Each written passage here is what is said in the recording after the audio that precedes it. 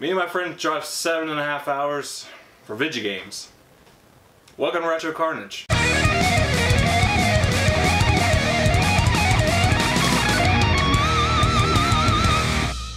So we traveled from Louisiana to Arkansas to go to the famous Game Room Trading Post, as famously seen on The Game Chasers.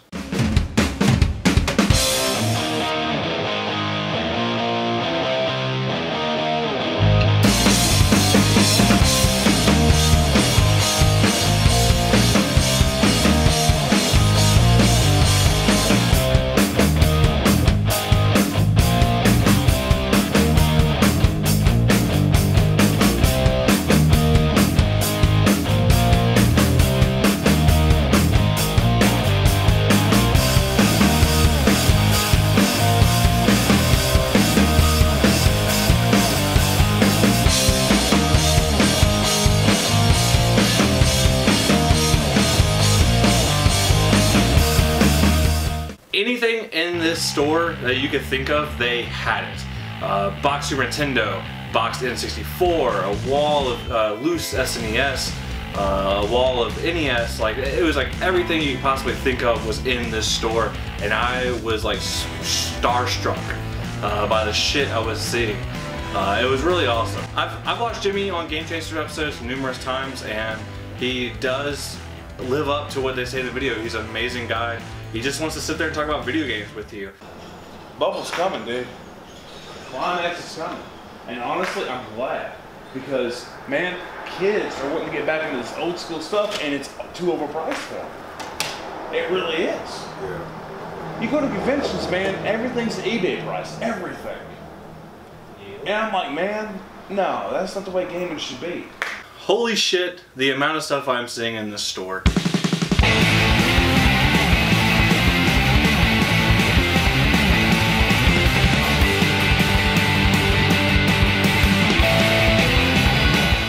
Now, at this point in my collecting, I'm mainly looking for Super Nintendo games. Uh, NES is also on the list, uh, and just a handful of Genesis titles.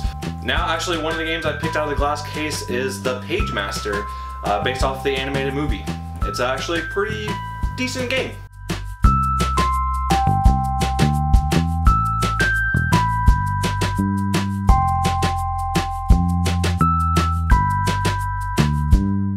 Now Jimmy is doing a hell of a job of upselling me, um, especially with the Robocops. Uh, I wasn't intending on buying Robocop, and I ended up buying all three Robocops uh, on NES. No, what you really, really need, come on down here. Yeah. No, you didn't. You need that Robocop too. I've seen that in there. You need it, man. Oh. Dude, I got Robocop 1 and 3 on the wall. You need all three. You gotta have it. You gotta have it. See, and thing is, you need Genghis Khan. Give it to Jimmy. He does give you a, a good deal on things, and he did upsell the fuck out of me on that. Now, as I'm looking at this stack that's growing and growing, I'm thinking in the back of my head, this is gonna be expensive. This is gonna be super expensive. Now, I had a lot of money to play with, but it's still hard to spend a lot of money, uh, you know, at, at any given time on anything. So I was very cautious about, you know, what I was seeing and, and my stack was growing and growing and growing. And I knew I was gonna maybe probably put some things back, uh, but I just kind of kept on stacking as far as what I wanted and I'll go through it later to see what, uh, what I can get rid of and what I, what I don't really want to get rid of. So, so as my stack grows larger, then Jimmy asked me, hey, you want to go upstairs? And of course I want to go upstairs.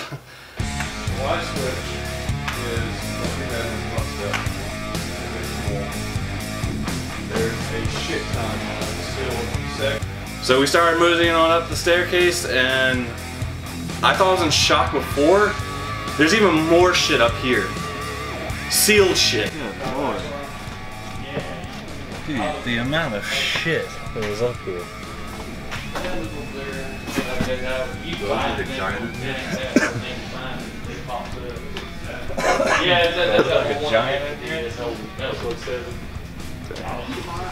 Yeah.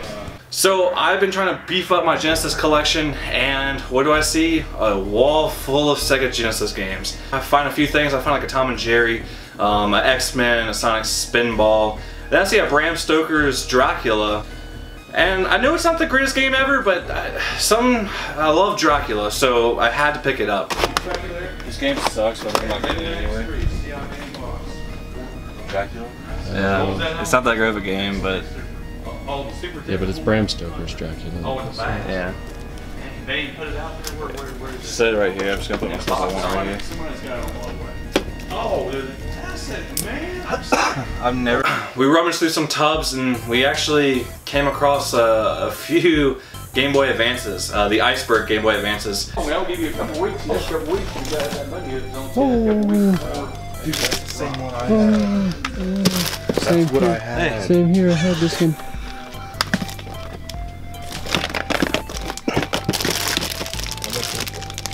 So the Game Boy Advance actually holds a special place in my heart because that was the first system I ever bought with my own money. Um, I remember paying for the Iceberg Game Boy Advance and actually this game right here, uh, Dragon Ball Z Legacy of Goku. And it's just awesome to So it's awesome to find a uh, Game Boy Advance like I used to have as a kid, and super cheap, and, and it worked. So the dude had stacks of Game Boy Advances in there. And the exact same box that we find the Game Boy Advances, um, my friend, he actually finds a Game Boy Color carrying case, which I used to have this exact same one. Which that, that, that, I think that's got all it does. That's one that that'll actually be better.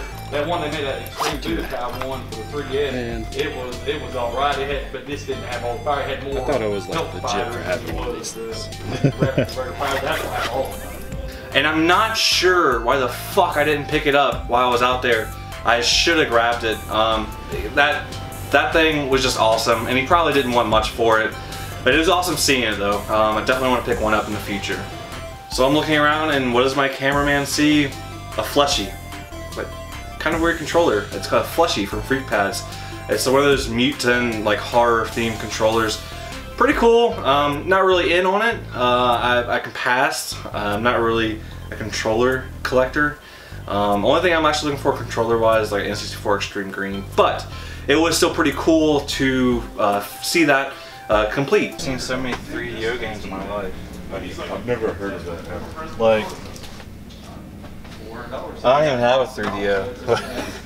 but it's making me want to buy games for it. So a system I actually don't even have, but I've been collecting games for it because I can't find the actual system that works, uh, is a Sega Saturn. And something about the Sega Saturn is just uh, caps my eye. I don't fucking know.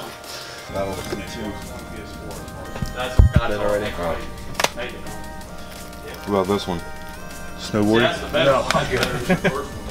Oh, yeah. Defcon One 5. six and ten. The second one is the one everybody Good. Yeah. Um, I don't really run into Sega Saturn games too often uh, where I'm from, so to see like a wall of things, uh, it was pretty impressive uh, just by the looks of it.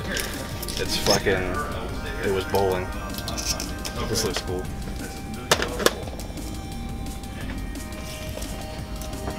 Um, I, the games, I don't actually don't even know what's good and what's bad uh, for Sega Saturn. I have no idea.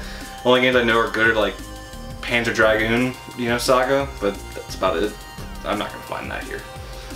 So what sparked my interest for uh, collecting for Sega Saturn was actually Space Jam. Fuck, I know, right?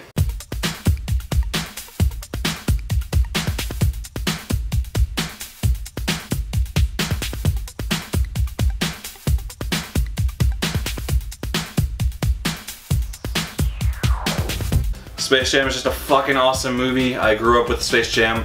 Um, and I actually found that Space Jam at Retropalooza um, at the beginning of this year. So I, that kind of sparked the interest uh, of getting a Sega Saturn. So I'm still looking for a console, but for now I'm just gonna pick up some games for it. Fuck you, battery. You're about to fucking die. I'm about to spend fucking crazy amounts of fucking money here. Fuck me. It was fun. Damn it. I'm scared to see the price on all this. What's in there? We got all the- February, things that That's why I say where you smoke and stuff, that don't. GBA link, anyone? There's I like remember I 50 needed that. in to- here. I needed that to multiply my muse. Multiply my muse. I used to have one of these. I'm gonna, I'm gonna wear a game. And you were like the big shit because I was the only one in the house that had a DVD player. A buddy of mine gave me The sealed PlayStation 1 controller. No big deal. Ooh, dude, yeah. So it's judgment time. I have to bring him all this shit and see what he says. Um, I'm thinking 400 for all of it. I got some pretty good shit in here, and it's a lot of shit. And I'm kind of nervous about what he's about to say because off camera, with two Super Famicoms, he's willing to do two for one price pretty much. And I need a Super Famicom. for all this, both of them, 450. So we, uh, he hits me with a 450. Fifty dollars, and he's already knocked off like a hundred bucks. I said you boys a 100 bucks. So every game that said 15, I want you to I'll knock five off. Without the Super Famicoms, you're looking at 370. It's a pretty good deal, but it's still 450. And I kind of just don't say anything. I kind of just nod and sit there. And then he kind of just did it for me and was like, I'll do 400. I'll do four.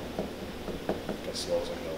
400. As slow as I go. So I fucking immediately shook on it and I felt great, I guess.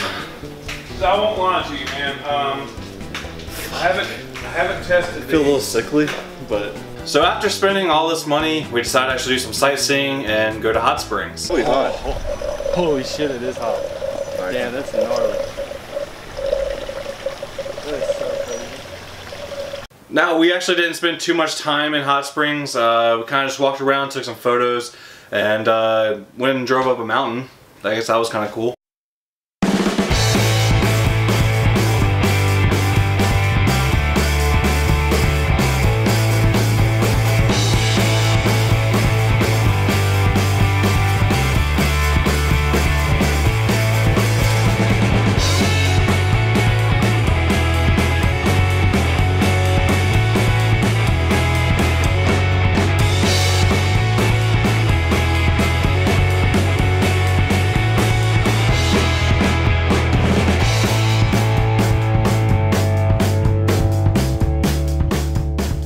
One more stop before we left on this trip, and that was a stop at Galaxy Connection. Um, it's a Star Wars museum slash gift shop. They had a bunch of vintage Star Wars stuff, uh, some replica props, costumes. Uh, it was really cool. The tour was pretty short. It was kind of a small building. Uh, still interesting to see. Uh, would check it out if you're in the area.